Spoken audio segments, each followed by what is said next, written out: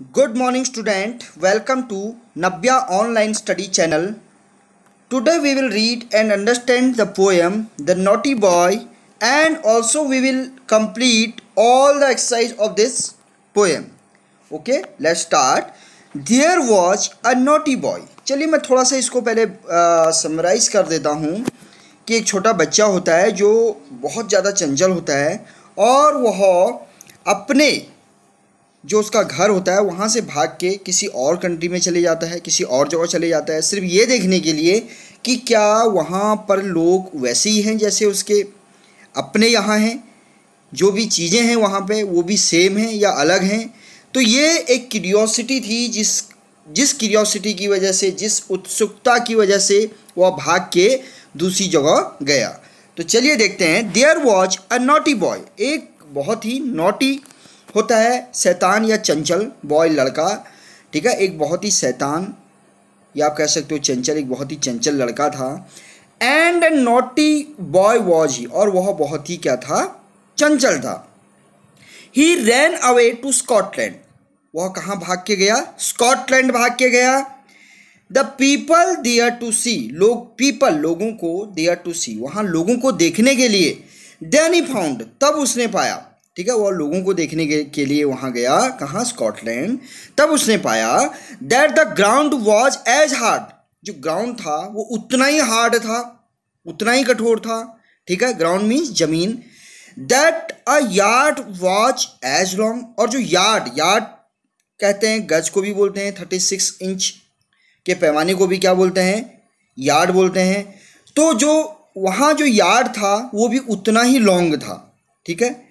That a song was as merry और जो song था, जो गाना था, वो भी उतना ही मैरी मीन्स होता है, खूबसूरत, ठीक है, या आनंददायक। तो वहाँ जो गाना था, वो भी उतना ही आनंददायक था, ठीक है? अब उतना जो आ रहा है कि ये अपने जो इसका घर जहाँ था, वहाँ से ये कल्प जो है इमेजिनेशन कर रहा है कि सारी चीज़ें तो वैसी ही हैं, ठीक है? That a cherry was as red और जो चेरी है, आप जानते हो चेरी क्या होती है? एक क्या होता है? फ्रूट होता है, ठीक है? तो चेरी वॉज़ एज रेड और चेरी जो थी, वो भी इतनी ही लाल थी। That lead was as weighty और जो लैड लैड होता है, क्या होता है लैड लैड एक मेटल मेटल कह सकते हो। तो लैड जो है, वो भी उतना ही वेटी मीन्स होता है वेट भारी, जो वहाँ पे जो लैड था, ठीक है, वो भी उतना ही भारी था। That four score was as eighty और फोर स्कोर किसको बोलते हैं? ठीक है फोर टाइम ट्वेंटी को बोलते हैं फोर स्कोर ठीक है। तो वॉज़ था एज एटी वो भी सेम कैसा था एट्टी के जैसा था। That a door was as wooden और जो दरवाज़ा था, वो कैसा था? वॉज़ एज वुडन ठीक है ऐसे ही वुडन लकड़ी का था। एच इन इंग्लैंड अब देखो कहाँ का रहने वाला है? इंग्लैंड का। तो ये सारी चीज़ें कैसी थी वहाँ पे भी? सेम इंग्लैंड की तरह। ठीक है? So he stood in his shoes and he wondered तो इस सो so, इसलिए ही स्टूड वह खड़ा रहा इन ही सूज अपने सूज में एंड ही वंडर्ड और उसे आश्चर्य हुआ ही वंडर्ड उसे आश्चर्य हुआ। ही stood in his shoes shoes ठीक है सूज तो वह खड़ा रहा अपने सूज में एंड ही वंडर्ड और उसे आश्चर्य हुआ। अब सूज में खड़ा रहा का मतलब है कि, यानी वो वहाँ पे इतना उसे आश्चर्य हुआ, क्योंकि वो उत्सुकता बस आया था। उसी की क्यूरियोसिटी उसको स्कॉटलैंड लेके आई थी कि वहाँ पे लोग कैसे होंगे, वहाँ पे जो और चीज़ें हैं ठीक है? वो कैसी होंगी, जिसके बारे में भी हमने इस पोएम में पढ़ा। लेकिन जब उसने पाया कि सारी चीज़ें तो इंग्लैंड जैसी ही तो उससे बहुत ज़्यादा उस आश्चर्य हुआ और वह बिल्कुल आश्चर्य से एक जगह पर खड़ा खड़ा जो है, वो क्या रहा? काफ़ी उसे, हर चीज़ के लिए उसे जो है बहुत ज़्यादा आश्चर्य हुआ। देखिए पोएम किसने लिखी है? जॉन कीट। जॉन कीट एक बहुत ही फ़ेमस राइटर थे, ठीक है? अब न्यू वर्ड है नोटी मैंने बताया आपको। नोटी मीन्स क्या होता है? चंचल, लिख सकते हो, या शैतान लिख सकते हो फाउंड पाना। ग्राउंड ज़मीन मैरी मैरी मीन्स बताया मैंने आपको, खूबसूरत, ठीक है? आनंददायक। चेरी तो चेरी तो एक फ्रूट है, आप जानते हो, ठीक है? वेटी बहुत ज़्यादा भारी। उडन उडन मीन्स क्या होता है? लकड़ी। चलिए, ये भी हो गया। उसके बाद आते हैं हम क्वेश्चन आंसर में। तो बच्चों क्वेश्चन आंसर मैंने आपके लिए रेडी किए हैं। तो देखिए, पहला क्वेश्चन है from where did the naughty boy come कहाँ से नोटी बॉय आया? तो आपको पता है इंग्लैंड से। तो हमने इसका आंसर लिख दिया the naughty boy came from England second where did the naughty boy go ठीक है? अब वो कहाँ जाता है इंग्लैंड से? स्कॉटलैंड। तो लिखोगे the naughty boy went Scotland third why did he go there why क्यों? ही वह गो जाता है देयर वहाँ। वह वहाँ क्यों जाता है? तो आपको पता है वो लोगों को देखने जाता है ठीक है? वहाँ पे फ्रूट्स देखता है वहाँ पर वहाँ पे जो है वो प्लेसेस देखता है ठीक है? तो जितनी भी चीज़ों का पो, पोएम में जो हमने पढ़ा है ठीक है? वो सारी चीज़ें हमने यहाँ पे लिख दी। He wanted to know about the people place places things and fruits of Scotland fourth one is what did the boy wonder about ठीक है what did the boy wonder about किसके बारे में उसे आश्चर्य हुआ? तो देखिए मैंने पहला लिखा है ground as long as yard ठीक है जो कि हम पोएम में पढ़ चुके हैं। A joyful song a red cherry the heavy lead, the four score of eighty the wooden door. तो ये सारी चीज़ें हैं जिसको उसने स्कॉटलैंड में जाके देखा और उसे ये अनुभव हुआ कि ये सारी चीज़ें तो वैसी ही हैं जैसी कि इंग्लैंड में थी। ठीक है? तो आई होप आपको ये समझ में आ गया होगा। आप वीडियो यहाँ पर रोक के अपने क्वेश्चन आंसर लिख सकते हैं। तो चलिए हम आगे बढ़ते हैं। देखिए, अगला क्वेश्चन है listen to these instruction and follow them तो ये आपके लिए है। आपने इनको पढ़ना है, सुनना है, उसके बाद इनको क्या करना है फॉलो करना है। ठीक है? तो अगला नेक्स्ट करते हैं। Why did why do you think the naughty boy would see in India ठीक? तो ये क्वेश्चन आपके लिए हैं। ठीक है? What do you think the naughty boy would see in India आपको क्या लगता है कि उसने इंडिया देखा होगा? तो यस और नो जो भी आपका आंसर है, वो आपने करना है। सेकेंड है have you recently been to another place क्या किसी दूसरी जगह अभी हाल फ़िलहाल में गए? What is it like how is it different from your own place तो वही चीज़ें हैं कि आपको क्या ऐसी चीज़ें लगी कि वहाँ पर जो अलग हैं। Third all cultures have their own folk song folk folk song folk song होता है लोक गीत in which each line is repeated these line is sung in chorus चौरस भी एक गाना ही होता है, ठीक है? सिंग आ, एक रूप होता है गाने का। Sing a folk song in your own language, ठीक है? तो चलिए, ये आपकी अपनी लैंग्वेज का जो भी एग्ज़ाम्पल है या गाना है, उसके बाद देखिए Naughty is a describing word. Can you find more describing word? Can you find in this mail? तो डिस्क्राइबिंग वर्ड आपने क्या करना है? इसमें फाइंड आउट करने हैं। तो ये भी आपने करने हैं। एक दो मैं आपको बता देता हूँ इसमें। ठीक है?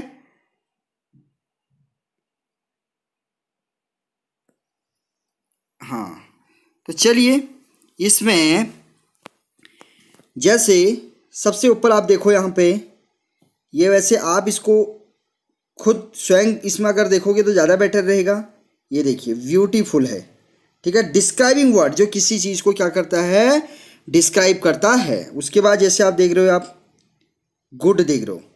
देख रहे हो? गुड हो गया। उसके बाद आप देख रहे हो नीचे healthy H E A L T H Y healthy तो इसी तरह से और भी डिस्क्राइबिंग वर्ड इसमें हैं, जो आपने क्या करने हैं? फाइंड आउट करने हैं। तो चलिए, कुछ काम आपके लिए भी छोड़ देते हैं।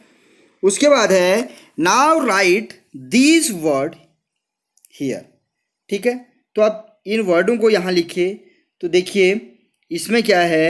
शायद यही वर्ड आपको जो नीचे अभी दे रखे हैं यही वर्ड आपको सारे उसमें ऊपर जो आ, टेबल दिख रही थी उसमें आपको मिल जाएँगे। ठीक है? तो चलिए। हाँ ये है। मैं लिख देता हूँ यहाँ पर आपके लिए। हाँ। तो पीकॉक इज़ आ तो यहाँ पर लिखोगे आप क्या लिखोगे? ब्यूटीफुल तो मैं स्पेलिंग बता देता हूँ. B E A U T I F U L beautiful अभी ऊपर हमने इसको क्या सर्कल भी किया था। ठीक है? पिनोक्यो इज़ आ ठीक है? Pinocchio is a naughty N A U G H T Y N A U G H T Y ठीक है? नोटी नोटी पपेट आई सा एन मैंने देखा एन अगली, अब यहाँ पर लिखोगे यू, जी, एल, वाई। अगली क्वेरल ठीक है? तो अगली मीन्स क्या होता है? भद्दा। ठीक है? उसके बाद नेक्स्ट है morning exercise make you healthy H E A L T H Y healthy a glass of milk make you make your teeth strong S T R O N G लिखोगे यहाँ पे।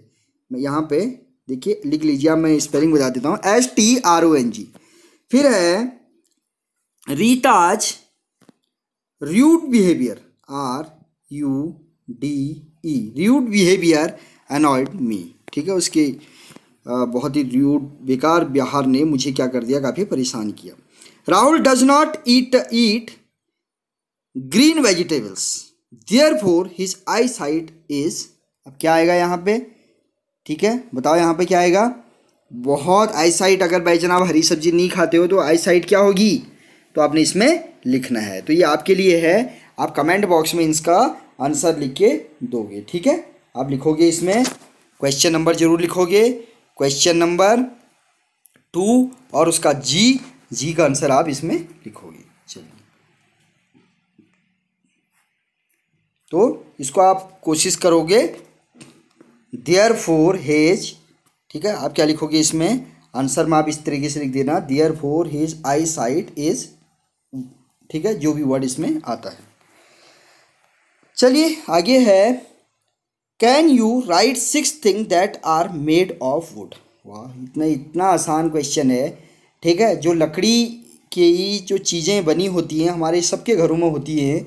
तो कह रहा है कि छह चीज़ें ऐसी लिखी है जो लकड़ी की बनी होती हैं। ठीक है?